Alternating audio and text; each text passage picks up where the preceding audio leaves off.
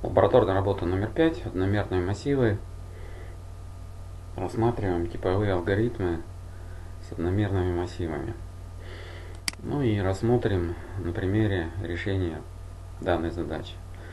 То есть нужно составить программу для вычисления суммы значений, если исходный массив имеет размерность от 1 до, соответственно, 20. Так, ну и как будет выглядеть программа. Пишем заголовок.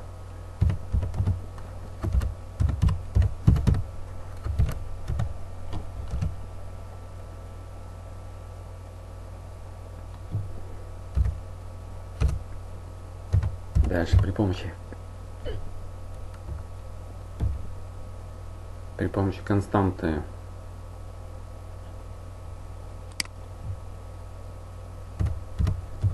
зададим значение количества элементов в одномерном массиве. Так, ну а дальше воспользуемся переменными, то есть объявим x одномерный массив размеров от 1 до n, то есть 20. Так, ну и сделаем его целочисленным.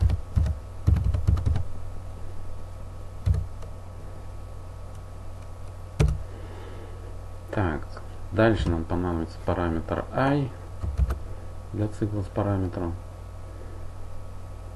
Сделаем его целочисленным. Так, и понадобится нам переменная s, благодаря которой будем вычислять значение суммы. Так, начинаем писать тело программы.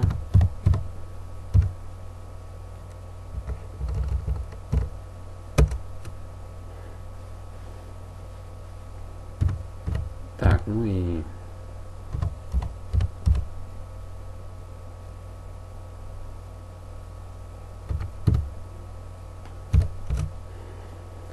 воспользуемся процедурой генератора случайных чисел для того, чтобы заполнить, соответственно, элементы одномерного массива.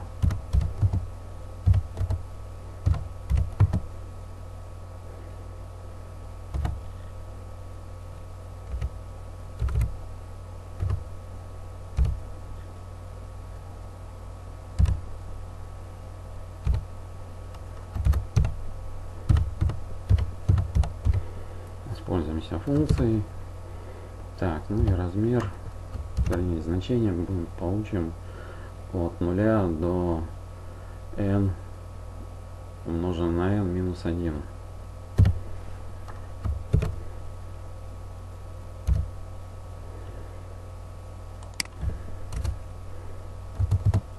Так, сразу же здесь проверим и выведем на экран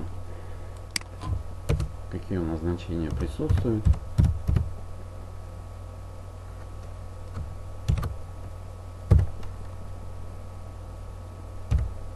в заполненном случайном порядке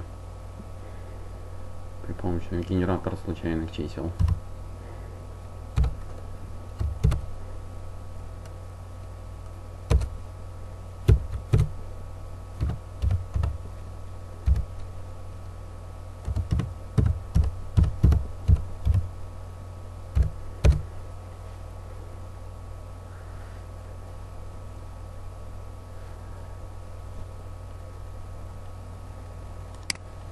Так, ну а здесь, кстати, можно сразу же изменить значение суммы.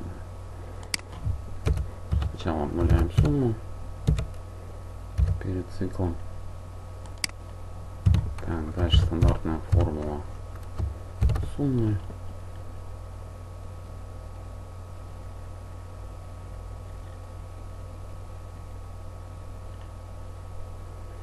Так, дальше стандартная функция возведения в квадрат.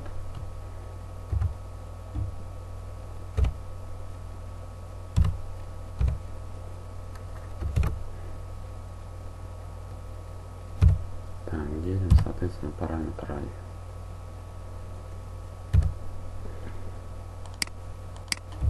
Так, ну и после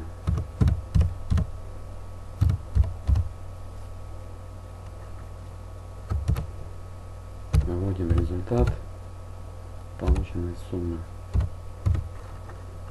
на экран. Так, вот как будет выглядеть программа. Запускаем ее. Если все верно стилистически написано. Сейчас он покажет результат. А, вот показал у нас результат. Единственное, вывод у нас в одну строчку и одним числом. Что бы у нас ни происходило, сливание чисел, то есть мы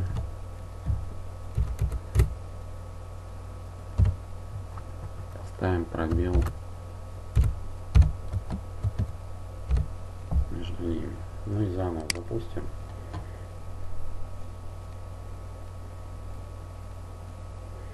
Ну и как видите, вот представлены числа, случайно сгенерированные, ну и получили сумму.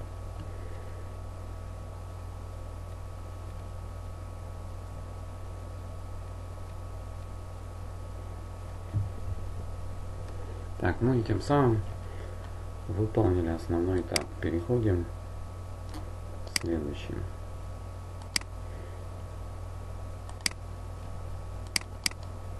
Электронную таблицу, как один из вариантов.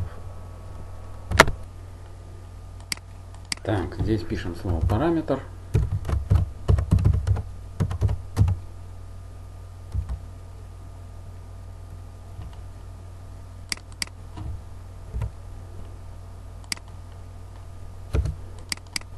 Здесь пишем значение.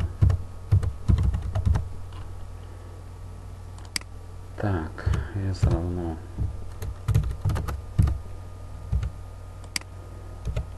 нулю. Дальше у нас параметр i меняется от одного до 20.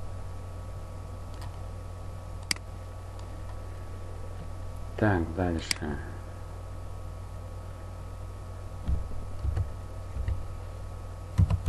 Так, x и t. Ну, у нас здесь воспользоваться генератором случайных чисел, либо мы берем каждое число и вставляем, либо можно в любом беспорядке или в порядке ввести свои соответственно значения. Так, ну что, да.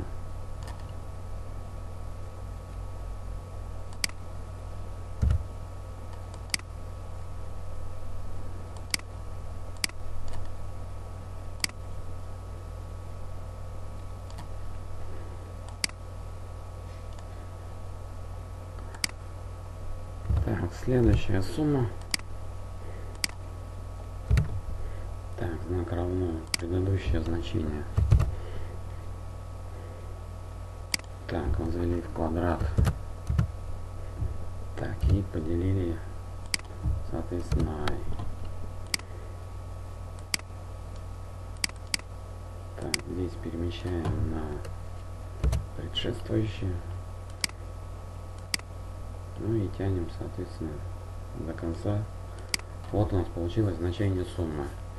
Ну, как повторяю, что значение суммы у нас не совпадет. Если бы мы ввели те же самые значения, то сумма получилась та же самая. Так, следующее действие. Оформляем лабораторную работу.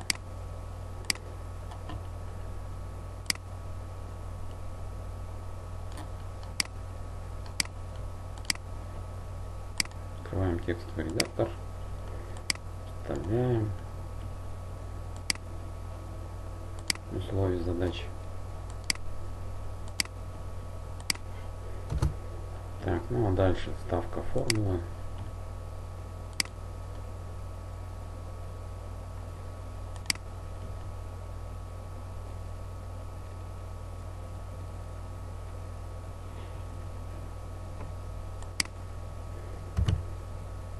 s равно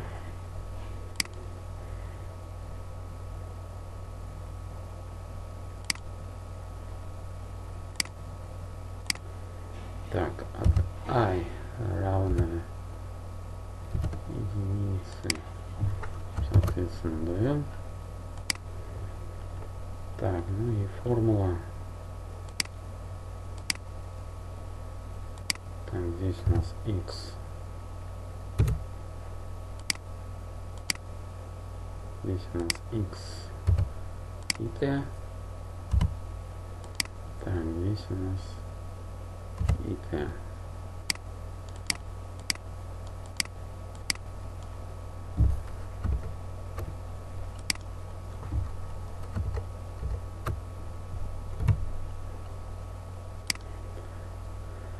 Не просто x и t в квадрате.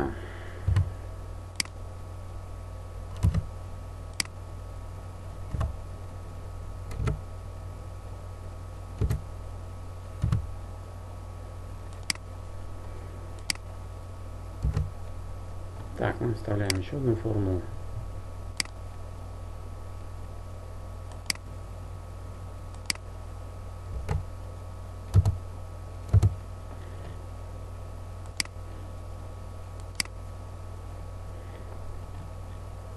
Так, ну и здесь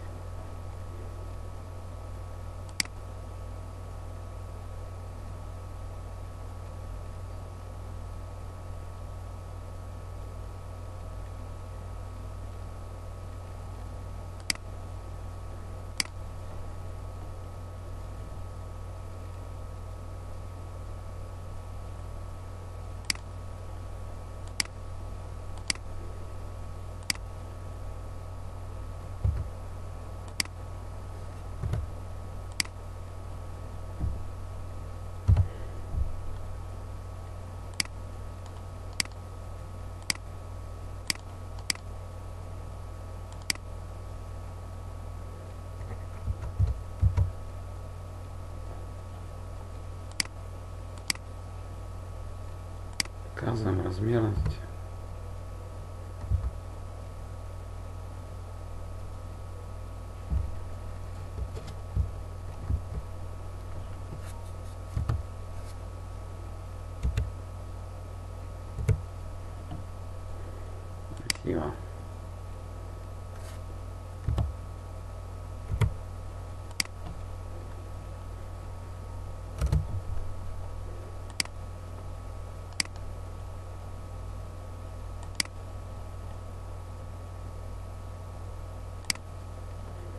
Так, дальше копируем код программы.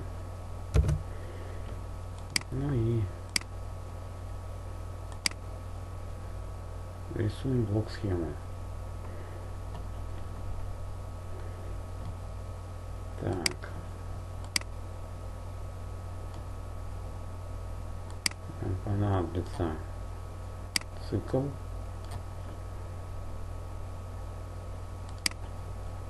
Так, сначала нам понадобится начало. Так, дальше нам понадобится присвоение значения равное нулю. Так. Дальше идет цикл.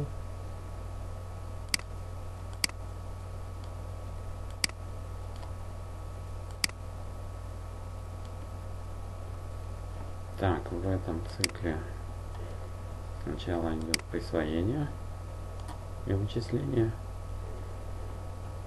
Так.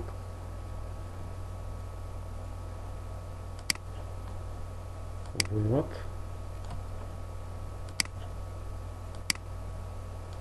Дальше, выходя из цикла, у нас опять будет вывод. И, соответственно, конец. Так, ну и при помощи стрелок указываем путь выполнения блоков.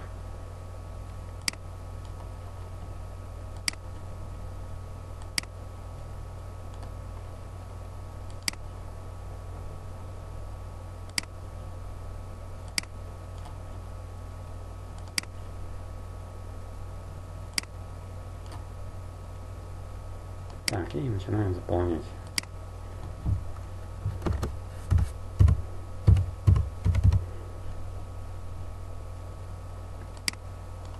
Действие присвоение нулю. Так, следующее действие. Параметр меняется от одного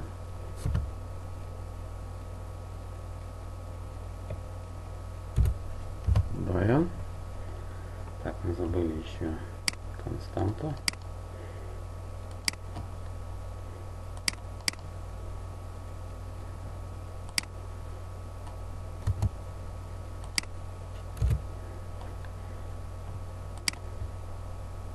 Так, дальше присвоение вычисления.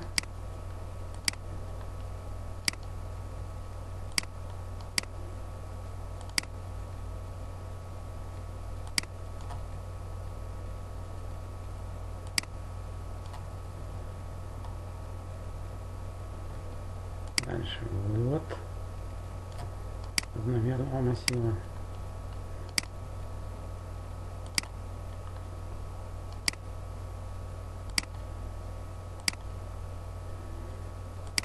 И вывод. Значение суммы.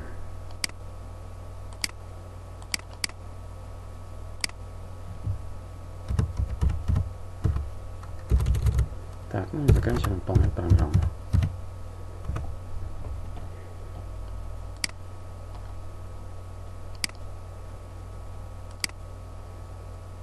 Так, ну и вот как будет выглядеть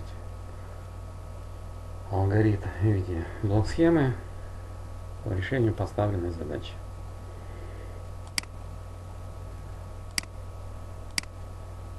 Так, ну и забываем теорию для защиты лабораторной работы.